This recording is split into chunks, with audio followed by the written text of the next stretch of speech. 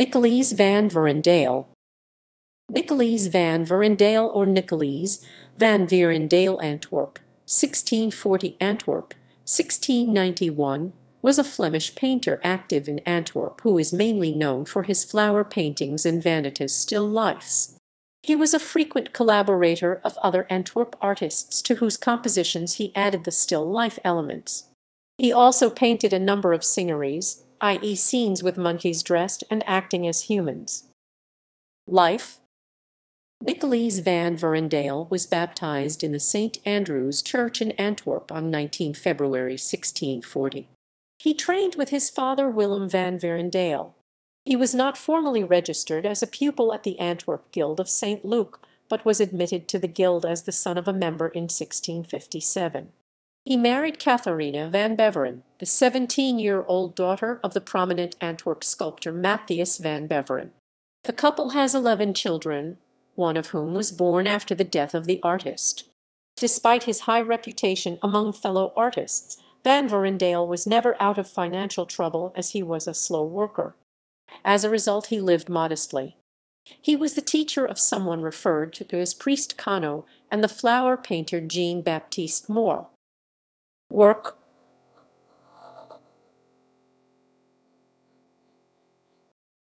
General Van Verendael mainly painted flower pieces, vanitas still lifes, and a few allegorical scenes with monkeys. His dated works are from the period between 1659 and 1690. He was highly regarded from an early age. He was in demand as a collaborator working with some of the leading Antwerp painters, such as David Teniers, the Younger, Gonzales Coques, Erasmus Quellinus Roman II, Jan Boekhorst, Carstian Luyckx and Jan Davids. Deheen. Verendael is known to have collaborated with other artists on works that expanded on the pure flower still lifes of his particular expertise. Flower paintings His early work shows the influence of the leading Antwerp flower still life painter Daniel Seghers, but he used more and stronger and more contrasting colors. His early flower paintings depicted small, bright, graceful bouquets in tall, narrow vases or cartouches and garlands surrounding a religious figure or scene. These garland paintings had been an invention by Jan Bruegel the Elder dating to the beginning of the 17th century, and were usually collaborations between a still life and a figure painter. An example of a work by Van Verendael in this genre is the garland surrounding the Virgin Mary Prado, Madrid a collaboration with an unknown collaborator. The central motif is a sculpture rather than a painting of the Madonna as was more common. The garland of flowers is represented in groups rather than in a circle, and is thus representative of the later evolution of this genre.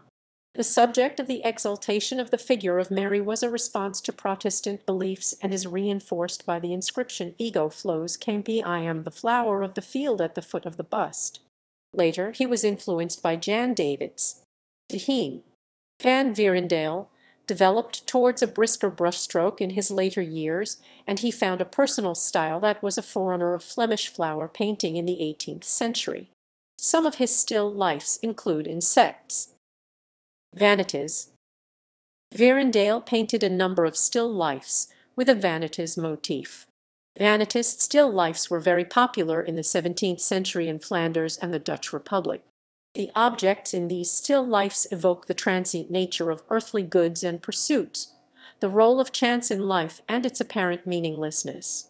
Stock symbols expressing these ideas include skulls, extinguished candles, empty glasses, wilting flowers, dead animals, smoking utensils, watches, mirrors, books, dice, playing cards, hourglasses, and musical instruments, musical scores, various expensive or exclusive objects, such as jewelry and rare shells.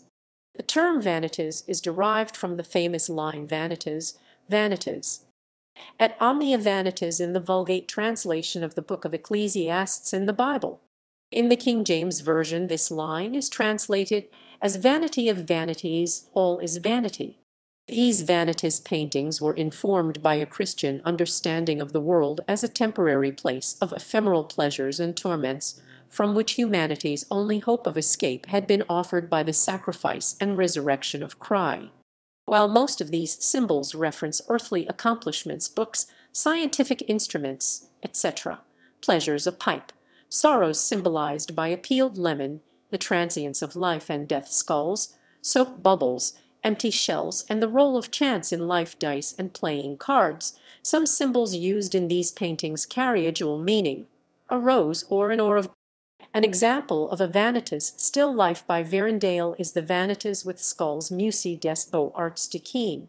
The painting shows similarities with another Vanitas work called Vanitas. Still Life with a bunch of flowers, a candle smoking implements and a skull in the Galleria Franchetti at the d'Oro, Venice dated 1679.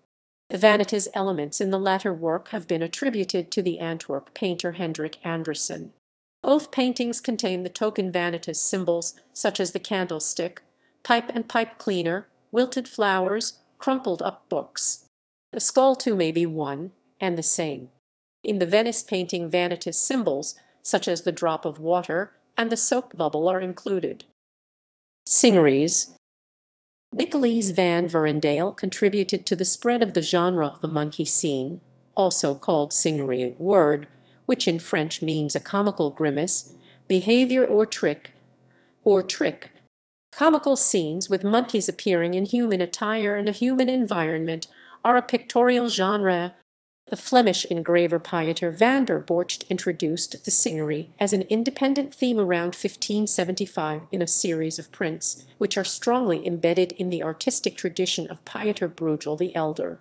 These prints were widely disseminated, and the theme was then picked up by other Flemish artists, in particular by those in Antwerp, such as Frans Franken the Younger, Jan Bruegel the Elder, and the Younger, Sebastien Vrancx, and Jan van Kessel the Elder.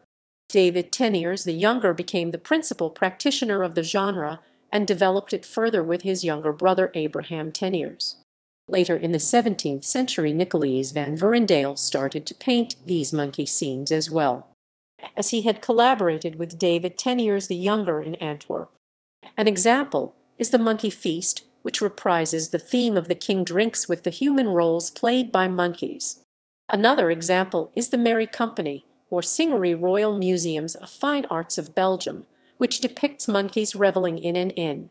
A considerable number of paintings and additional drawings of Singeries by Verendael has been identified on the art market and in private collections.